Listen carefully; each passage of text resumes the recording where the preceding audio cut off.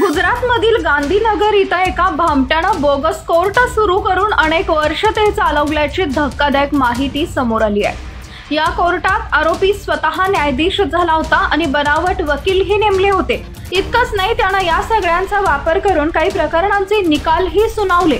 याचं बिंग कसं फुटलं पुढे पाहण्याआधी एम मराठी न्यूजला जरूर सबस्क्राईब करा.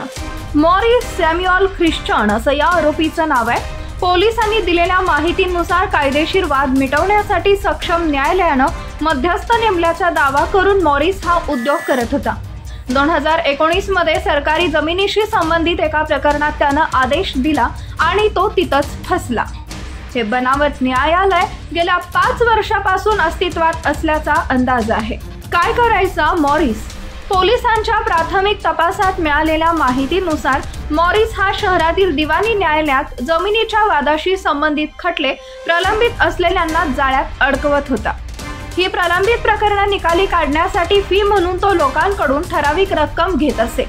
पोलिसांनी दिलेल्या माहितीनुसार मॉरिसनं आधी स्वतःला कोर्टानं नियुक्त केलेला अधिकृत मध्यस्थ म्हणून प्रस्थापित केलं आणि नंतर आपल्या क्लायंटला गांधीनगरमधील कार्यालयात बोलवायचा.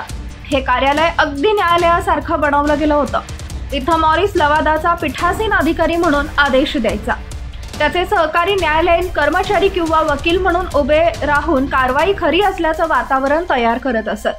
दोन हजार एकोणीसमध्ये मॉरिसनं हीच पद्धत वापरून आदेश दिला होता.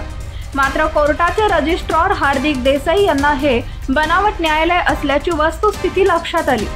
देसाई यांच्या तक्रारीनंतर करंज पोलिसांनी गुन्हा दाखल करून आरोपीला अटक केली. त्याच्या विरोधात दोन हजार पंधरामध्ये अहमदाबाद शहरातील मणीनगर पोलीस ठाण्यात फसवणुकीची तक्रार दाखल करण्यात आली होती. मॉरिसवर न्यायाधीश असल्याचं भासवून हवे ते आदेश देऊन लोकांची फसवणूक केल्याचा ठपका आहे.